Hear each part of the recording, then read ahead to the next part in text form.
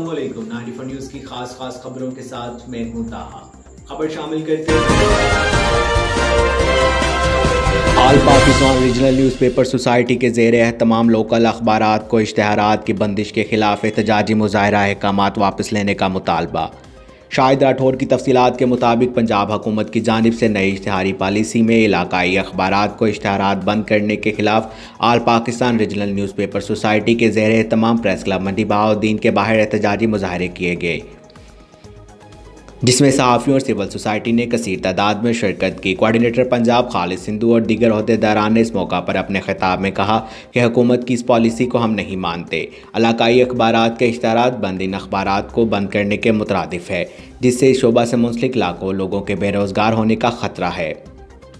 पंजाब हुकूमत इलाकाई अखबार को इश्तहार बहाल करे एहतजाज में सबक वफाकी वज़ीर मुमताज़ अहमद तारड़ राव अशरफ हुसैनी मुस्लिम लीग काफ के रहनुमा जुलकर नैन शाही रहमान समेत सोसाइटी के और सहाफ़ियों ने कसर तादाद में शिरकत की।